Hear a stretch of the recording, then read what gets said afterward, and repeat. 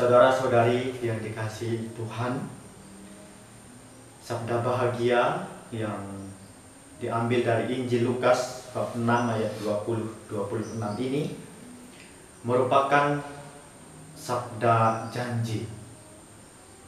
Janji Yesus ketika dia sudah memandang murid-muridnya. Kapan janji itu akan dipenuhi? Bagi kita orang-orang yang percaya, ketika Tuhan berjanji, dia tidak akan mengingkari. Iman kita menjadi fondasi dari semua janji itu. Janji Yesus itu seperti sebuah lagu. Janjimu seperti fajar di pagi hari yang tiada pernah terlambat bersinar. Kebahagiaan yang sejati bukan berasal dari hal-hal duniawi ini, tetapi kebahagiaan yang sejati itu adalah anugerah dari Allah. Dunia mungkin bisa memberi kita kesenangan, tetapi bukan kebahagiaan.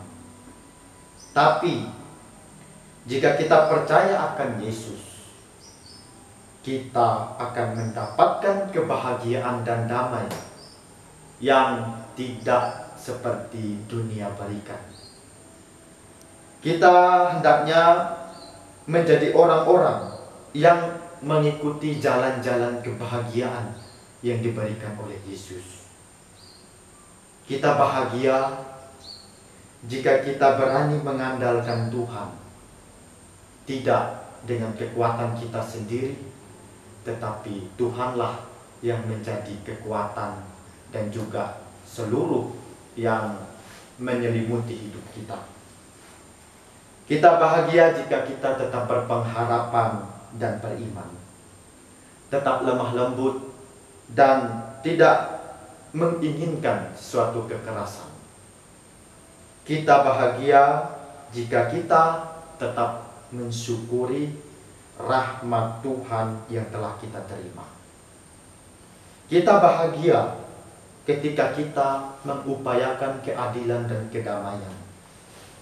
Dan kita juga bahagia ketika kita bisa menjadi pembawa damai. Damai bagi sesama, damai bagi alam ini, dan juga damai dengan Tuhan. Dan kita bahagia ketika kita berani menanggung derita dan susah payah karena kita mewujudkan kebenaran. Semoga rahmat Allah senantiasa menguatkan kita sehingga kita mampu mengikuti jalan-jalan kebahagiaan yang Yesus tawarkan kepada kita. Tuhan memberkati kita semua.